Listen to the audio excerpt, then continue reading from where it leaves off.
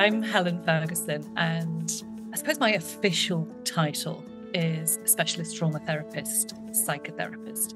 But I actually kind of consider myself much more of a mind body soul connection healer that focuses on guiding people into the connection with themselves and the regeneration of their mind, their body, their soul to connect back into it when they've experienced trauma. So I work with anyone that actually wants to reconnect in with who they are supposed to be as opposed to what their experiences have been and create the future that they want. And I've been doing this now for 24 years. So, if I were to describe a mission, then it's to leave a legacy of freedom.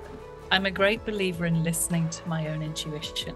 So, I was looking for kind of a place where I felt comfortable too, because there's a lot of groups out there and different summit. And for me, I always have to feel like whatever I'm stepping into is aligned with who I am.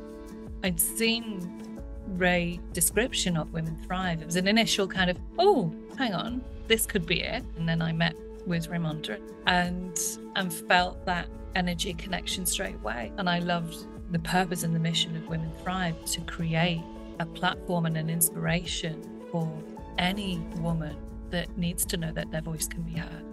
It wasn't kind of new to a platform of speaking, but it is very different when you're coming to it from a place of your personal experience.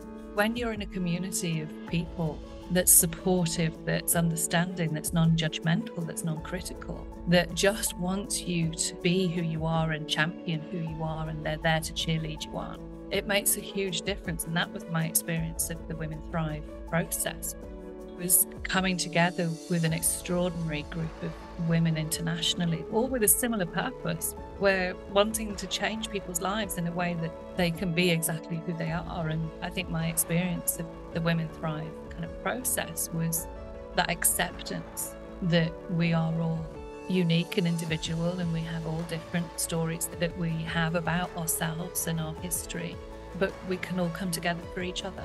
The transformation for me throughout the process from a personal level was actually kind of helping to release myself a bit from psychotherapist title, specialist trauma therapist title, and start to shift into actually what the work is. So being able to kind of feeling free enough to talk about that more. When you step into the Women Thrive Summit and you become a speaker, it's not just kind of a one off relationship, it creates a lasting connection.